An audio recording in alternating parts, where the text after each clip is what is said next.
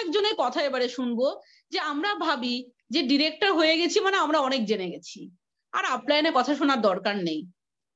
Upline কি বলবে? আমি তো সবই জানি, আমি তো সব শিখে গেছি। না ফ্রেন্ডস আপনাকে শেখার জন্য একটা বছর পুরো দিতেই লাগবে। আপনি একটা বছর, দুটো বছর, আপনি ট্রেনিং পিরিয়ডটাকে খুব সুন্দর করে নেন, তবেই কিন্তু আপনি খুব ভালো ট্রেনার হতে পারবেন। আপনাকে ভালো ট্রেনার হতেই লাগবে। আমি আমার ডাউন দ্য লাইনকে একটা কথাই বলি, ভালো আপলাইন হও। কারণ আমি দেখেছি আমার আপলাইন চন্দনদাকে আমি দেখেছি কত ভালো আপলাইন হলে তবে কিন্তু আজকে আমি এই জায়গাটায় আসতে পারতাম। আজকে চন্দনদা ছাড়া এই জায়গাটা পাওয়াটা ইম্পসিবল ছিল কোনোভাবেই সম্ভব ছিল না। কারণ আমি যেখানে ঘর থেকে বেরোতে পারতাম না উনিশ সালে আমি চুটিয়ে টিউশনি করছি আমার বেরোনোর কোনো উপায় নেই। সেখানে দাঁড়িয়ে কিন্তু একদম চন্দনদা মানে হাতে করে কীভাবে জাস্ট ফোনেও সবসময় উনি আসতে পারতেন না, মাসে উনি দুবার, তিনবার আসতেন। কিন্তু কীভাবে উনি গাইড করেছেন, সেই গাইডটাও যদি আমরা নিই, তবেও কিন্তু আমরা অবশ্যই একদম মানে শিখরে পৌঁছতে পারব, যেটা আমি দেখেছি। তা সেরকম আমি একজনকে ডেকে নেব, যিনি কিন্তু অনেক জানেন, তবুও কিন্তু আপলাইন যখন বলেন, তখন কিন্তু উনি মন্ত্র মুগ্ধের মতন শোনেন এবং আপলাইন যতক্ষণ প্রোগ্রাম করছে, তখন, ততক্ষণ কিন্তু ওনার মুখে একটা কথাও থাকে না। এরকম একজন ব্যক্তিত্বকে আপনাদের সামনে আনব।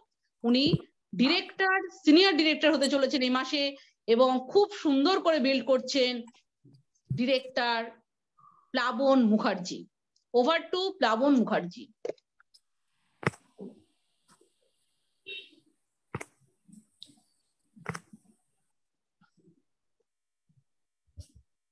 হ্যালো হ্যাঁ শোনা যাচ্ছে।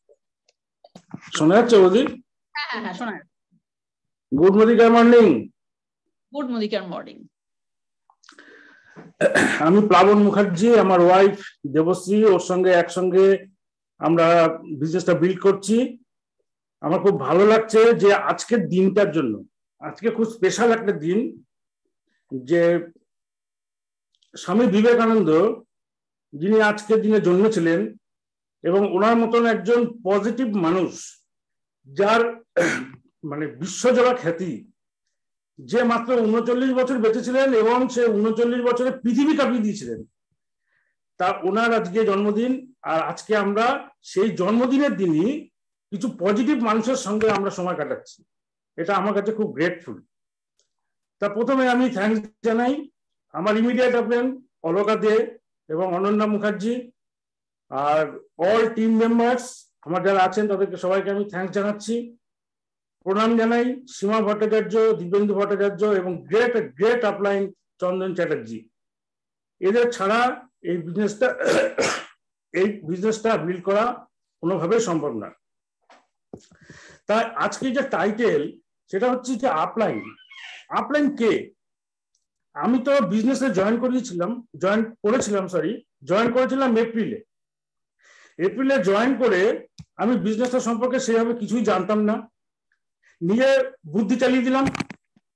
আপলাইনকে ইউটিউবে তো সব পাওয়া যায়। ইউটিউবে এখন সমস্ত কিছু ট্রেনিং আছে মিটিংস আছে ডেমো আছে, সমস্ত কিছু আছে। কিন্তু আপলাইনকে আপলাইনকে কোনো দরকার নেই তো। আমি একাই করে ফেলব সবকিছু। শুরু করে দিলাম দিমাগ লাগানো ফিল করলাম সবই তো ইউটিউবে দেখলাম। ইউটিউবের লোকগুলো কি আমার সঙ্গে আসবে? আমার প্রোগ্রামে যাবে? আমার প্রোগ্রামে গিয়ে প্রসপেক্টের সঙ্গে কথা বলবে? দেখলাম যে না, তাহলে আপলাইনের কাছে সাবমিশন হতে হবে। সারেন্ডার করে দিলাম আপনাকে। নিজেকে সারেন্ডার করে দিলাম। সাবমিশন করে দিলাম। এই আপলাইন এই মানুষগুলো কিন্তু সব জানে অন্তর্জামের মতো। আপনারা বিশ্বাস করবেন কি করবেন না আমি জানি না। আপনার থেকে যদি একদিন আগেও একটা মানুষ জয়েন করে এবং সে যদি আপনাকে স্পন্সর করে, সে আপনার থেকে এক বিন্দু হলে বেশি জানে। এটা আমি ফিল করেছিলাম। ভীষণভাবে ফিল করি এটা। যে মানুষগুলো আজকে এতদিন ধরে বিজনেস করছে, তাদের উপরে আমি বুদ্ধি চালিয়ে দিলাম। যাই হোক, এই আপনার হচ্ছে অ্যাকচুয়ালি পাওয়ার হাউস আমি তো মনে করি, আমি ফিল করি, আমি আমার ফিলিংটা আজকে শেয়ার করছি। আজকে টাইটেলও হচ্ছে, আজকে প্রোগ্রামটা আপলাইনদের নিয়ে। আমি যেটা মনে করি, এরা হচ্ছে পাওয়ার হাউস থিঙ্ক ট্যাঙ্ক এদের কাছে সব ইনফরমেশন থাকে, আপনি কোথায় কি করছেন, কি না করছেন, সমস্ত কিছু। আপনাকে শুধু সারেন্ডার হতে হবে, শুধু সাবমিশন করতে হবে। তাহলে আপনি তার সুরাহা খুঁজে পাবেন। আমি একটা এক্সাম্পল দিই। একটা এনইএফটি আমি ক্লিয়ার করতে পারছিলাম না, কিছুতেই ক্লিয়ার করতে পারছি না। নিজে অনেক চেষ্টা করেছি। দীপেন্দ্রদাকে ফোন করলাম। ওই যে আপলাইন আবার সে আপলাইন দীপেন্দ্রদাকে ফোন করলাম, দীপেন্দ্র তুমি পাঠাও। পাঠালাম। এনএফটিটা মোটামুটি ধরুন দু তিন ঘণ্টার মধ্যে ক্লিয়ার হয়ে গেল। দিস ইজ আপলাইন সুতরাং নিজের বুদ্ধিটা খাটানোর কোনো প্রয়োজন নেই। যেসব ডাউন লাইন এখনও পর্যন্ত ডাউট করে যে এই আপলাইন এই আপলাইন তো আছে, আমার বিজনেসের জন্য সে বড় লোক হয়ে যাবে।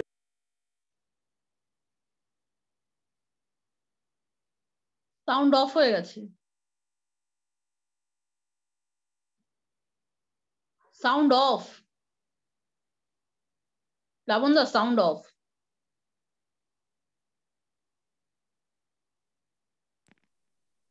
হ্যাঁ শোনা যাচ্ছে ওদি হ্যাঁ হ্যাঁ হ্যাঁ শোনা যাচ্ছে এবারে।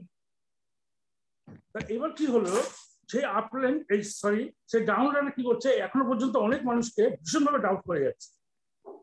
আমি বলি ফ্রেন্ডস যে ডাউনলাইনদের মধ্যে এখনও পর্যন্ত ডাউট আছে, যারা এখনও পর্যন্ত চিন্তা করছেন বিজনেসটা করব কি করব না আপলাইনের উপকার হবে সেই কারণে আমি বিজনেসটা করব না, আপনারা বিজনেসটা থাকুন বা না থাকুন, আমি একটু গ্যারান্টি দিয়ে বলতে পারি, যেসব আপলাইন এখনও পর্যন্ত জিন্দা আছে, যে আপলাইন যদি জিন্দা থাকে এবং সে অ্যাক্টিভ আপলাইন হয়, হাজার হাজার ডাউনলাইন তৈরি করে নেবে। আপনাদের ছাড়াই কিন্তু সে বিজনেসটা করতে পারে, কারণ সে সিস্টেমটার সঙ্গে প্লাগিং তা আমার সেই সময় তো এই অবস্থা। এক মাসে কর্মকাণ্ড অনেক কিছু করে ফেলেছি। এরপরে আসলো বিলিভ পয়েন্ট যে বিলিভ সিস্টেম কি করে আমি বিশ্বাস করব? বিশ্বাস করতে পারব নিজেকে যে আমি কি বিজনেসটা পারব? সবাই তো এত এত কথা বলছে, কি করে বিশ্বাস করি? সেজন্য আমি একটু ফ্ল্যাশব্যাকে চলে গেলাম। আমার বাচ্চাকে বা আপনাদের বাচ্চাকে যখন আপনারা পড়ান ছোটবেলায়, তখন দেখবেন ওখানে A for apple E for elephant Z for zebra শুধুই পড়ান, শুধু পড়ান না। একটা ছবি এঁকে দেন বা একটা বইতে একটা ছবি থাকে, আপনারা দেখে নিতে পারছেন যে হ্যাঁ ই ফর এলিফেন্ট মানে এলিফেন্ট এরকম দেখতে জেড ফর জেব্রা এরকম একটা জেব্রা সেই বাচ্চাকে নিয়ে যখন আপনি রাস্তাঘাটে যাবেন, কোনো সার্কাসে গেলেন কিংবা কোনো চিড়িয়াখানাতে গেলেন বা কোথাও ঘুরতে গেলেন, ওই এলিফেন্টের দেখে বাচ্চাটা চিৎকার করে, মা, ওটা এলিফেন্ট কারণ তার কাছে ভিজুয়ালাইজেশনটা ক্লিয়ার সে জানে, ই ফর এলিফেন্ট ওটা এলিফেন্ট কি? হান্ড্রেড পার্সেন্ট এলিফেন্ট তা আমার কথা হচ্ছে, সীমা ভট্টাচার্য, দীপেন্দু ভট্টাচার্য দেখাচ্ছে, আমি কার আছি বা আমি মিলেনিয়ার কার্ডটাতে সে সে নিয়ে আসছে, তার রিকগনিশন পার্ট হচ্ছে, তাকে ফুলের মালা পরানো হচ্ছে। চন্দন চ্যাটার্জি কান নিয়ে আসছে, তাকে মালা পরানো হচ্ছে, তাকে ফুলের পুষ্পবৃষ্টি করা হচ্ছে। এরপর শুভেন্দু ভট্টাচার্য কার আছি আমরা চোখের সামনে দেখলাম, তার ডিপিতে যায়, প্রতিদিন সেই গাড়িটা দাঁড়ানো থাকে। মৌমিতা ব্যানার্জি, সেও কিন্তু কার আচিবার মিলিনিয়ার। চোখের সামনে দেখছি ভিজুয়ালাইজেশন ক্লিয়ার এরপরে কি কোনো ডাউট থাকতে পারে যে বিজনেসটা হয় না? এই বিজনেসটা করা যায় না? এ ধরনের থাকে না। যাই হোক ডাউট ক্লিয়ার করে ফেললাম। ভিজুয়ালাইজেশন ক্লিয়ার হয়ে গেল। এরপরে আপলাইনের কথার মতন কাজ শুরু করে দিলাম। কাজ শুরু করতে গিয়ে দেখলাম, বুঝতে পারলাম যে অনন্যা মুখার্জি তো আমাকে পুরো ভাসিয়ে দিয়েছে। আমি তো একদম পুরো যখন কাজটা শুরু করতে গেলাম, তখন তো আমি তো বুঝতে পারলাম আমি একটা সমুদ্রের মধ্যে, একটা উত্তাল সমুদ্রের মধ্যে গিয়ে পড়েছি। কারণ আমি তো মোদিকেয়ারের তল মাপতে গেছিলাম। আটলান্টিক মহাসাগরের তল আমরা কেউ মাপতে যাই না। কেউ কেউ যাই না মাপতে যে কতটা গভীর। আর আমি তো মোদিকেয়ার কতটা গভীরতা আছে, সেই মাপতে সেই মাপতে গেছিলাম। মাপতে গিয়ে দেখলাম যে এর তল এতটা গভীর এ না মাপার থেকে বরঞ্চ উত্তাল সমুদ্রে ওই একটা জাহাজ আর আমি একটা নাবিক, আর আমার সঙ্গে একটা ক্যাপ্টেনকে অনন্যা মুখার্জি ছেড়ে দিয়েছে, হয় তুই মর, না তুই ডেস্টিনেশনে পৌঁছা। এইবার আমি কি করব? আবার সেই আপলাইন মানে আমার ক্যাপ্টেন তাকে তো আমার জিজ্ঞাসা করতে হবে, আমি কি করে সেটা ওভারকাম করব? কীভাবে উত্তাল সমুদ্রে আমি জাহাজটাকে চালাবো, আমার ডেস্টিনেশনে পৌঁছাবো? সে ক্যাপ্টেনই কিন্তু বলবে যে, তোমাকে এইভাবে যেতে হবে, ওইভাবে যেতে হবে। আর ওই যে ঢেউগুলো, উত্তাল ঢেউগুলো হচ্ছে অবজেকশন ওই অবজেকশনগুলো কিন্তু উনি কেয়ার করবে। শুধু তার কথা মতো কিন্তু শুনতে হবে। তার কথায় আমাদেরকে সাপোর্ট করতে হবে। সে যখন যা বলছে তখন সেটা করতে হবে। আমরা সেটাই চাই এই করতে করতে আমরা কিছু মানুষকে পেয়ে গেলাম। যে মানুষগুলো আজকে ভীষণভাবে চেষ্টা করছে, ভীষণভাবে ট্রাই করছে। আমার সঙ্গে সঙ্গে তারা সাথ দিচ্ছে। বিশেষ করুন অলকা দে আমার ইমিডিয়েট আপলাইন যে অলকা দে কিছুক্ষণ আগে তার স্পিচ শুনলেন। এই অলকা দে, এই একমাত্র আমি দেখলাম যে পার্সন যে কাউকে প্রিজাজ করে না, সে সমস্ত মানুষকে তার বাড়িতে বাসন আলা আসে দুধ আলা আসে মাছ আলা আসে, কাউকে বাদ দেয় না, কাউকে না। সবাইকে বলে। আর সবাইকে বলে বলে আজকে তার রেজাল্ট আপনারা কিন্তু দেখতে পাচ্ছেন, ছাব্বিশে ডিসেম্বর স্টেজে ইডি এক লাখ বিবি কেক কাটলো সেলিব্রেশন হলো। তাহলে আমরা কেন প্রিজাজ করি? আপনি তো বলে দিয়েছে প্রিজাজ করতে। আমরা প্রিজাজ করছি। এটা একটা হিউম্যান ডেমো অনেকে দেখতে চায় তো? আমরা তো প্রোডাক্টের ডেমো দেখি human demo Ananya Mukherjee human demo কি ডেমো অনন্যা মুখার্জি স্পন্সর করেছে অলকা দে অলকা দে হয়ে গেল ইডি অনন্যা মুখার্জি হয়ে রয়েছেন সিনিয়র ডিরেক্টর তাহলে আপলাইনের নিচের থেকে ডাউনলাইন কিন্তু বেরিয়ে গেল। তাহলে ডাউনলাইন যে বলছে যে আমি কাজ করলে আপলাইনের লাভ, তাহলে এটা হয় না। আর থার্ড একটা ডেমো পূর্ব মেদিনীপুরের ওই গ্রামে একজন সাধারণ মেয়ে, জয়শ্রী সাহু, বর্ষার সময় এক হাঁটু কাদা পায়ে ঘর থেকে বেরোয়, পুকুরে পা ধুয়ে পঁচিশ কিলোমিটার দূরে ডিপিতে যায় প্রোডাক্ট তুলতে এবং ও শুধু নয়, ওর টিমের সবাই সেই অবস্থা, সেরকম ধরনের গ্রামে থাকে ওরা। সেখান থেকে যায় প্রোডাক্টের ডিপি তুলতে। দুশো কিলোমিটার দূর থেকে কল্যাণী চলে এসছে সেমিনার অ্যাটেন্ড করতে ওয়ার্কশপ অ্যাটেন্ড করতে। অথচ কল্যাণী পান্নালাল স্কুলের দু থেকে পাঁচ কিলোমিটার রেডিয়াসের মধ্যে অনেক ডাউনলাইন যায়নি সেমিনার অ্যাটেন্ড করতে। ওয়ার্কশপে কিছু শিখতে পারবে, এই ধারণাটাই তাদের মধ্যে নেই। এক্সকিউজ দিচ্ছে। এক্সকিউজ কাকে দিচ্ছে? এক্সকিউজ দিচ্ছে নিজেকে, আমাকে না, আমাদের আপলাইনকে নয়। হবে না তার। যে এক্সকিউজ দেবে তার কিচ্ছু হবে না। এটা আমি ফিল করি। এটা আমি ব্যক্তিগতভাবে ভীষণভাবে ফিল করি। আমার ফিলিংস গুলোই আমি আপনাদেরকে শেয়ার করছি কিছু মানুষকে পেলাম যারা ডে ওয়ান থেকে ডে ওয়ান থেকে হান্ড্রেড ফিফটি করে। সোনালী ভট্টাচার্য গৌরীবোস দত্ত, লীলাময় মন্ডল সায়ন্তিকা, মৌসুমী মুখার্জি, প্রশান্ত মুখার্জি, ফিফটি বিবি অল টাইম সবসময় করে হচ্ছে প্রলয় দেবনাথ। আরও কত নাম কত নাম বলবে? অনন্য মুখার্জি, আমি বলি এটা টাইগার প্রত্যেকটা প্রত্যেকটা মানুষ ভীষণভাবে এক্সাইটেড আবার এক্সাইটেডের মধ্যে আবার অনেক কিছু ব্যাপার। এমন এক্সাইটেড এমন এক্সাইটেড কিছু কিছু মানুষ, একটা উদাহরণ দিই আপনাদের একটা এক্সাম্পল দিই ধরুন একটা স্টেশনে প্রচুর ভিড়, একটা ট্রেন ঢুকে গেল। ট্রেনটার মতো ভিড় তখন আমি যদি স্টেশনে থাকি বা আপনি যদি স্টেশনে থাকেন, আপনার মধ্যে ফিলিংটা কি হবে? আপনার মধ্যে ফিলিংটা এটা হবে, আমি কি ট্রেনটা উঠতে পারব? এই যে একটা শরীরের মধ্যে একটা এক্সাইটমেন্ট তৈরি হয়। ট্রেনটা দাঁড়াল কোনো মতে গুটিয়ে গাতিয়ে যাই হোক ধাক্কা টাক্কা মানে ফ্রিকশন শুরু। এই ফ্রিকশন করতে করতে কিন্তু আমরা ভেতরে ঢুকে গেলাম। আমরা চাই এরকম ধরনের মানুষ, এরকম এক্সাইটেড মানুষ আছে যারা ফ্রিকশন করতে করতে এগোবে।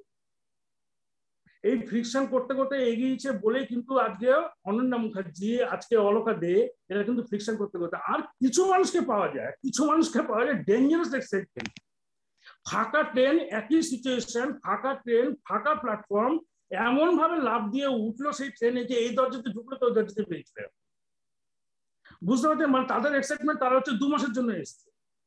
মানে প্রথমে এসে বিজনেসে ফাটিয়ে দেবো, করে দেবো মানে অনেক কিছু। তারপরে আর সে নাম নেই। তাকে আর খুঁজে পাওয়া যাচ্ছে এরকম ভাবে এক্সাইটমেন্ট করে কোনো লাভ নেই। আর অবজেকশন আমার মনে হয় আমি যদি ভুল না হই, পৃথিবীতে সব থেকে বেশি অবজেকশন হ্যান্ডেলিং করে অ্যাডভোকেট যারা প্রফেশনে আছে। যদি এখানে কেউ মিটিং অ্যাডভোকেট প্রফেশনে থেকে থাকেন তিনি জানবেন সব থেকে বেশি অবজেকশন হ্যান্ডেলিং করেন হচ্ছে অ্যাডভোকেট প্রফেশন তারা তাদের মক্কেলকে যে করে হোক বাঁচানোর চেষ্টা করে। তারা সেখান থেকে সেই মক্কেলকে বাঁচিয়ে তারা পায় হচ্ছে ক্যাশ রিওয়ার্ড আর আমরা যখন অবজেকশন হ্যান্ডেলিং করি, তখন আমাদের কাউকে বাঁচানোর কোনো প্রশ্ন নেই, কাউকে মারারও কোনো প্রশ্ন নেই। আমরা অবজেকশন শুধু হ্যান্ডেলিংটা করে যাব এবং আমাদের জন্য সব রিওয়ার্ড রেডি আছে। চিন্তা করতে হবে না, শুধু অবজেকশন করে হ্যান্ডেলিং করে যান আপনারা করুন। আমি যখন অবজেকশন হ্যান্ডেলিং যখন ঠুকপা খাওয়া শুরু করলাম, আমার আপলাইনকে বললাম, আমি কি করব? আপনার মধ্যে টুলস ব্যবহার করো ভিডিও শোনো, বিভিন্ন পিএমএ বুকস পড়ো, এগুলো করো, এগুলো করলে কিন্তু তুমি নিজের মধ্যে নিজের সেলফ এস্টিম বাড়াতে পারবে, নিজেকে সেলফ মানে ইমেজটা বাড়াতে পারবে, তোমার মধ্যে ইনার গ্রোথটা হবে।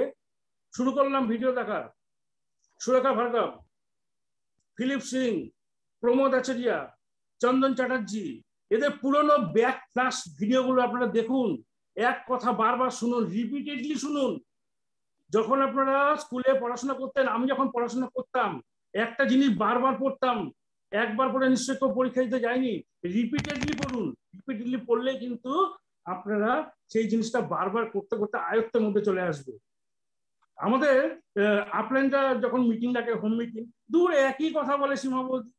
নতুন কি বলবে? স্কুল তো একটাই সাবজেক্ট তো একটাই। বিরাট বড় সাবজেক্ট নেটওয়ার্ক মার্কেটিং সাবজেক্ট আমি এখন একটু ঘাটাঘাটি করি, এর কোনো শেষ নেই দাদা।